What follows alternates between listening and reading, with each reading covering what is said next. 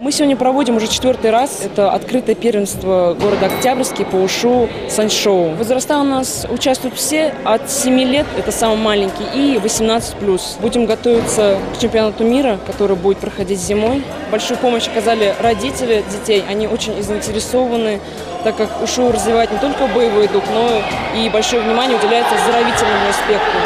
А У нас есть дети, которые больны астмой, и по течению занятий есть результаты улучшения болезни.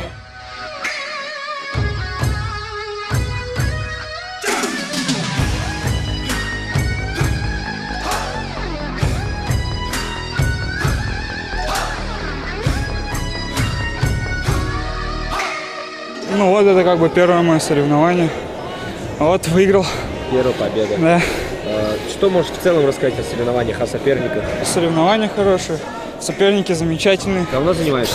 Ну, в пределах двух месяцев. Так в детстве много чем занимался. Ну, как бы пришел попробовать себя, мне очень понравилось. И решил то, что я здесь останусь, это точно.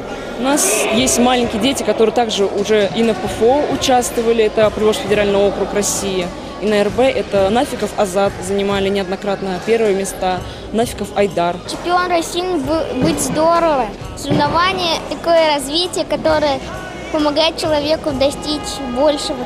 Меня привел мой учитель Рашид Фазлединович. Он лучший учитель во всем мире.